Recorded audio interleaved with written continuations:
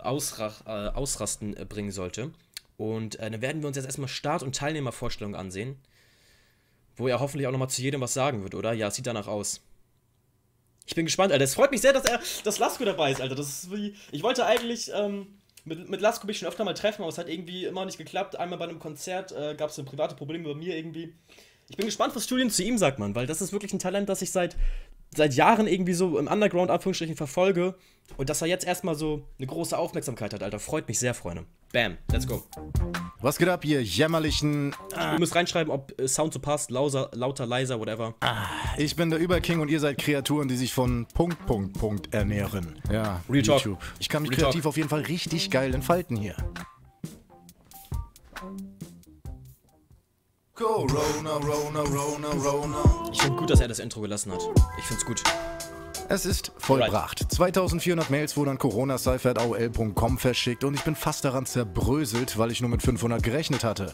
Ich will mich aber gar nicht beschweren. Vielen Dank für die rege Beteiligung, ihr Penner. Das Teilnehmerfeld wurde von 16 auf 32 aufgestockt und Allein das schon, das hat mich sehr gefreut. Als ich das gelesen habe, ich habe mich gefreut, Alter. um 18 Weil das heißt, dass viel mehr Gute dabei sind. sind alle Qualis online. Also wer sich alles geben will, hat um 18 Uhr die Möglichkeit, sich anderthalb Stunden mit Qualis zu beschäftigen. Hat ja auch nicht ganz geklappt, oder? Das sind nicht alle gleichzeitig online gekommen irgendwie. Aber ich habe auch gedacht, dass es Leute gibt, die Langeweile haben und den ganzen Tag nichts zu tun haben. Wir Freezy, was geht? Corona-Krise mit Ausgangsbeschränkungen und tralala. Deswegen gibt es zusätzlich als Bonus ein Line-Up. Wer also nicht bis 18 Uhr warten will, der kann sich darauf freuen, dass er sich morgen alle 15 Minuten eine neue Qualifikation Ah, okay, reinziehen okay. kann. Okay, ich hab's vercheckt, Digga. Ich war gerade richtig dumm. Von 10.15 Uhr bis 18 Uhr könnt ihr also den ganzen Tag Ah, Qualis genießen, wenn alright, ihr wollt. alright, alright. Oder wenn ihr das nicht wollt, um 18 Uhr ist alles online und ihr könnt dann stöbern, wie ihr lustig seid. Von dem standardmäßigen Wochenrhythmus verabschieden wir uns in der Qualifikationsphase also erstmal, damit ihr was habt, was ihr euch geben könnt, um diese omnipräsente Scheißkrankheit, Kuss, Kuss, die gerade rumgeht, mal für ein paar Minuten oder vielleicht sogar Stunden zu vergessen. Die Corona-Cypher soll Ablenkung, Spaß und Unterhaltung schaffen.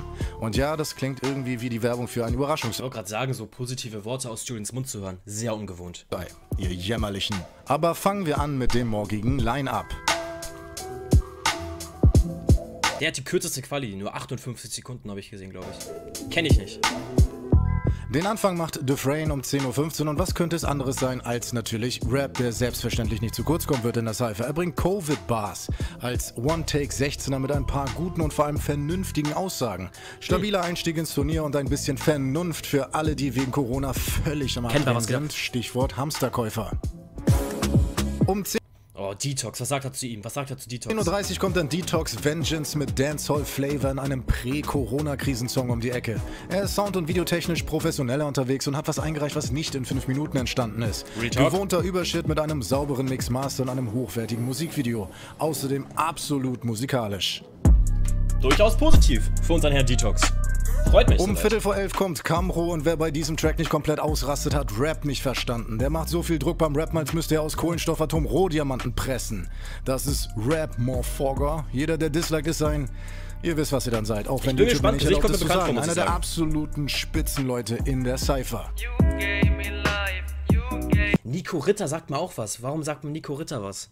Jungs. Nico Ritter. Ähm. Himi, was geht ab? Dann kommt Nico Ritter um 11 Uhr geschmeidig reingesteppt und bringt einen Track, der im Gegensatz zu den ersten drei Qualifikationen nicht nach vorne geht, sondern er fährt einen entspannten Ich liege in der Sonne und chill mein Lebensstyle. Wegen Karin Ritter, ja. Real Talk stimmt. Wunderbarer Nicht Lasko, Dann kommt Digga. Lasko um Viertel nach elf mit seinem Fahrrad in Blau Ja, und Mann. ebenfalls mit Dancehall-Flavor. Er lässt die Hände weg von Kriminalität, das ist auf jeden Fall eine schöne, vernünftige Message für die jüngeren Zuschauer und musikalisch überzeugt er auf ganzer Linie. Ein schöner Hit für den Corona-Sommer, der Safe. uns nun mal leider bevorsteht. Ey, ich weiß nicht, Fahrrad in Blau nicht mein Favorite-Track. Ich finde Draufgänger. Draufgänger ist mein Favorite-Track von Lasko. Aber Fahrrad in Blau auch noch sehr weit, sehr, sehr weit oben, Alter. Sehr, sehr weit oben. Boah. Ich hoffe wirklich, dass, das, dass er weit kommt, Mann. Ich drücke in die Daumen, Jungs. Jetzt schon, ich muss sagen, sorry gegen Detox und so, aber Lasko ist mein Favorit, muss ich sagen.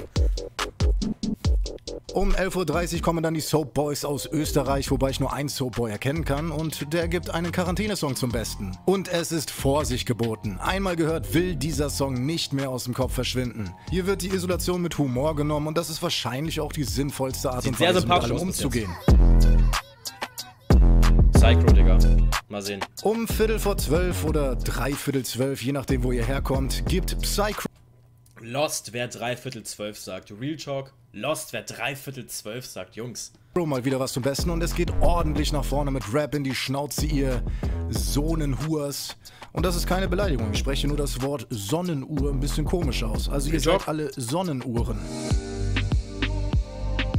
Oh, die erste Frau, Jungs. Zur Mittagszeit um 12 kommt BNY oder BNI und sie singt einen eigentlich inhaltlich eher Herz-Schmerz-Song, aber verpackt das Ganze in einem nach vorne gehenden Dancehall-Stück und kann musikalisch auf ganzer Linie überzeugen. Eine herausragende Künstlerin, diese BNY oder BNI.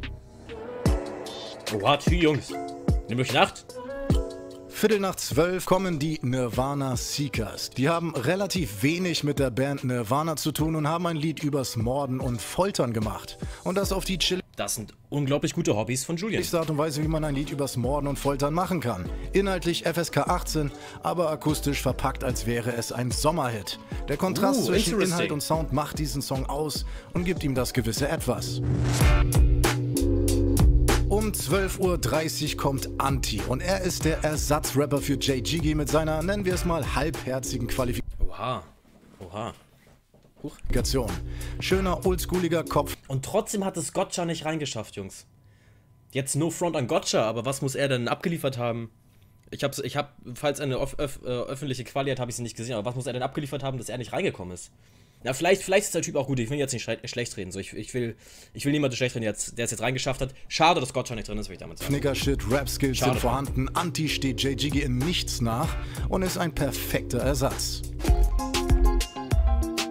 Ist das Sebastian Mitchell? Um 12.45 Uhr kommt was locker Flockiges von Mechas und Broxter. Man munkelt, ob es sich bei Broxter möglicherweise um Sebastian Oh, okay. Mitchell handelt, aber es kann auch sein, dass die sich nur ähnlich sehen und genau gleich klingen. Team Mechas Broxter hat einen Sommerhit über ein Ford Fiesta eingereicht.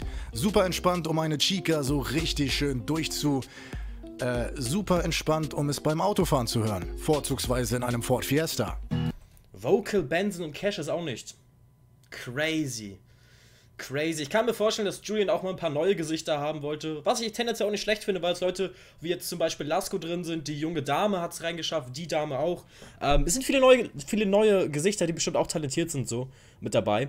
Ähm, aber natürlich trotzdem cool gewesen, so ein paar alte Hasen, eine gute Mischung zu haben. Aber okay. Um Soll man 13 Uhr kommt Luise und Luise singt einen Song, der im weitesten Sinne mit Fusilli-Nudeln zu tun hat, aber ihn darauf zu reduzieren, würde dem Song nicht Jungs, jetzt an alle, die irgendwie schreiben, dass ich der wegen meiner Frisur aktuell ähnlich sehe. Da kann direkt den Stream ausschalten. wirklich gerecht werden. Was sie da mit irgendeiner Billigkamera aufnimmt und auf ihrer Gitarre spielt, ist in meinen Augen beeindruckender als die Hälfte vom letzten JBB. Und ja, Oha. mir ist durchaus bewusst, dass ich daran nicht unschuldig bin, aber in der Corona-Cypher werde ich wieder genauso überzeugen, wie ihr es von mir gewohnt seid. Ich habe sowieso hoffe. nichts Besseres zu tun. Dann kommt Parker. Früher hieß er Clash Parker, jetzt nur noch Parker und früher Freut mich wirklich, dass er dabei ist. erinnerte er mich stark an Johnny Dixon, aber seine Qualifikation klingt jetzt mehr danach, dass Johnny Dixon ausgedient hat. Also ich vermisse ihn jedenfalls nicht, wenn ich mir das hier reinziehe. Parker hat sich gemacht und überzeugt musikalisch. Freue ich mich drauf. Dann kommt Nevis Bruder, Digga. Sensory, ein harter in die Fresse MC, der besser rappt als 90% aller Goldrapper, aber die Welt ist nun mal ungerecht. Wer Hardcore-Rap feiert, bekommt hier alles, was er sich wünscht. Klingt interessant. Hogan the Young kommt um 13.45 Uhr und ist definitiv der heißeste im Turnier und hat bei seinem Video definitiv die meisten Kalorien verbrannt. Kein Plan, ob wir in der Corona-Cypher oder in einem Cheerleading-Wettbewerb sind. Er ist auf Gras und er ist am Hüpfen, er ist also die Definition eines Grashüpfers. Was die Musikalität anbelangt, fährt er einen komplett eigenen Film.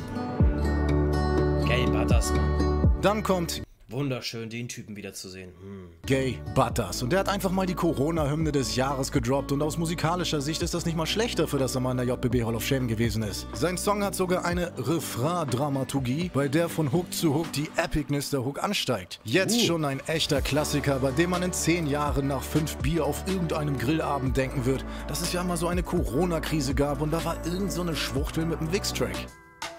Jasper bringt das, was Freu man von ihm kennt. Abgewichsten Jasper. harten, ich für Dass er immer noch lebt, Leute. Da habe ich mich am meisten gefreut, das zu sehen. Vögel mit deiner ungewaschenen Mutter Müllcontainer ohne Kondom, baller mir danach in eine Handvoll mit Pillen. Und was guckst du mich eigentlich an, du Spasti-Rap? Rap-Fans kommen hier auf ihre Kosten.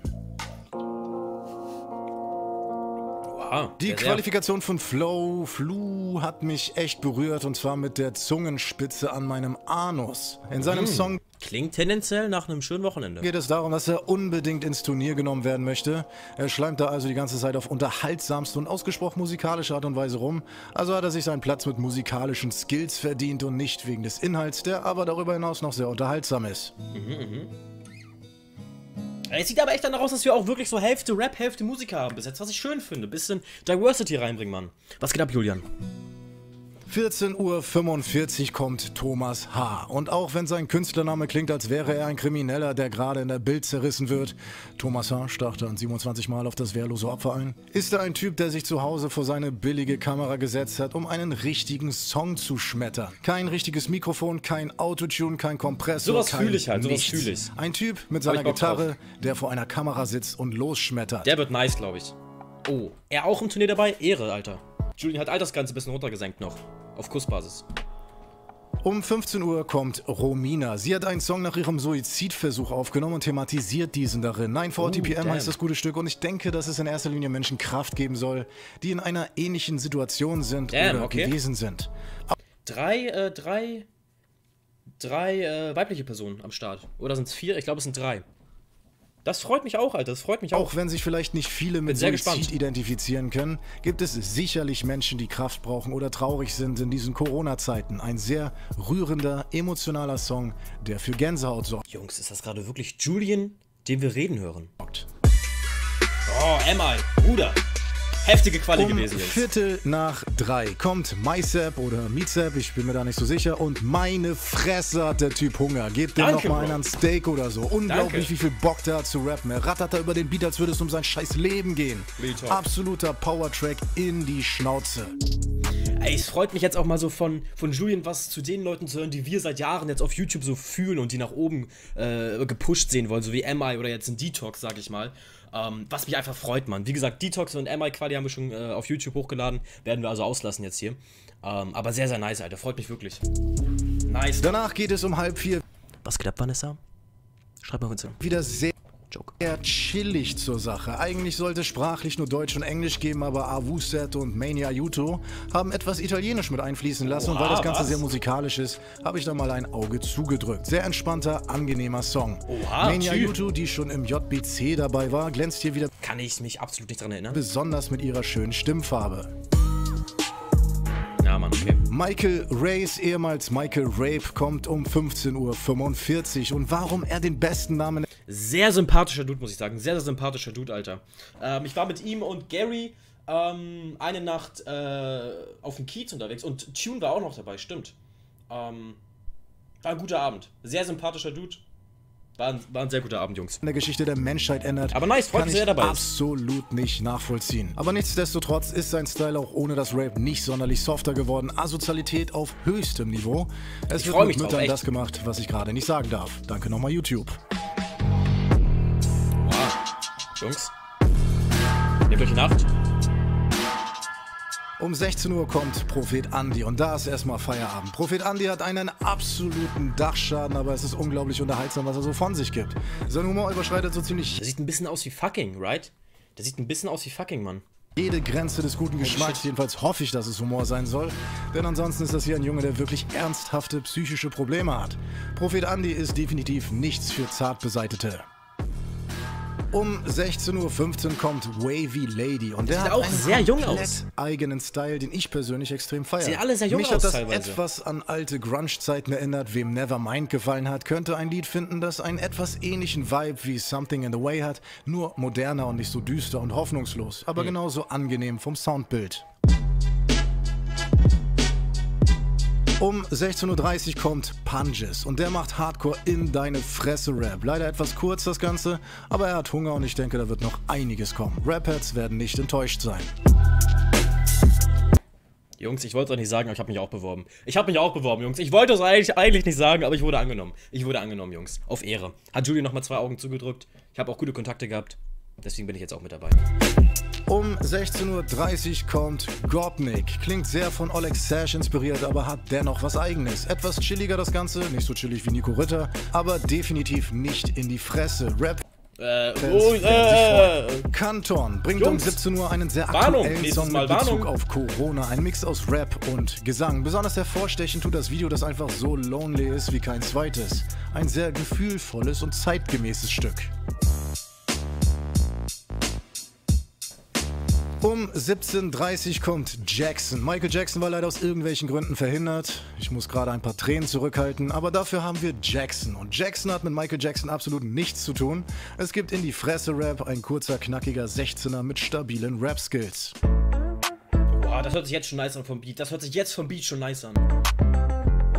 Donny 42 macht Shisha-Bar-Musik und die Shisha-Bar ist eine Lokalität, in der man jetzt ja gerade nicht wirklich abhängen kann wegen. Corona. Also kann man das Ganze gerade mit einem lachenden und einem weinenden Auge betrachten. Denn die Zeit, aus der dieser Track kommt, ist offensichtlich nicht ganz aktuell, aber diese Zeit wird wiederkommen, sobald die Corona-Krise überstanden ist. Wer eine Shisha-Bar-Affinität hat, wird hier vielleicht ein bisschen Ich verbinde direkt so Dardan-Vibes. Hoffnung auf bessere Tage finden. Um 17.45 kommt Gourvier oder Gouvier. Vielleicht frage ich beim nächsten Mal nach Lautschrift bei diesem für mich alten Allmann unaussprechlichen Namen. Und der macht ebenfalls etwas Richtung Shisha-Bar-Musik, aber ein, zwei Nummern härter, als es bei Donny 42 der Fall ist. Geht auch etwas Richtung Straße, aber wegen Corona wird ja aus jedem Straßenrapper jetzt ein Zimmerrapper. Also Shisha-Bar-mäßiger, Ich muss ganz ehrlich sagen, mich fucken jetzt schon die Corona-Jokes ab von Julian. etwas härterer Aber was wäre ein JBB, JMC, JB, JBC, wenn man sich nicht über Julian abfacken würde? Zimmerrap. Last but not least, um 18 Uhr kommt Kishi, Kashi, Kashi, Cashewkerne? Was auch immer. Fühl Und ich, das ist ein ich. Battle-Rapper mit einer von oben herab Mentalität, wie sie im Buche steht. 16 Zeilen Punchlines auf einem fetten Beat in die Schnauze. Und das ist das Line-Up für die Corona-Cypher. Nice, Mann.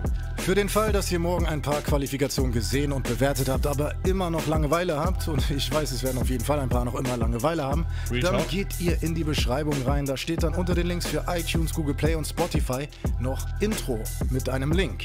Ich habe alle brauchbaren Intros, die mir geschickt wurden, als ungelistet hochgeladen. Und der Link führt euch zu einer YouTube-Playlist Ah, mit allen smart. Intros. Da könnt ihr euch dann die Intros aussuchen, die euch am besten gefallen haben und bewerten. Das Intro mit den meisten Likes wird dann das offizielle JCC 2020 Intro werden. Nice. Es gibt vor der Cypher gemacht. also erstmal eine Art freundschaftliches Cool Intro-Battle. Viel Spaß morgen mit den Qualifikationen. Alright. Jungs, das war das Ankündigungsvideo, Mann. Ey, das Line-Up ist echt strong. Das Line-Up ist strong, finde ich, weil wir so wirklich viele verschiedene Charakter dabei haben. Nicht nur Rapper und wenn es Rapper sind, nicht nur Battle-Rapper, sondern auch musikalische Leute so. Und Leute, die mal anderen Sound bringen, so wie Detox zum Beispiel. Ich freue mich sehr drauf, Alter. Ich freue mich sehr, sehr, sehr, sehr doll drauf.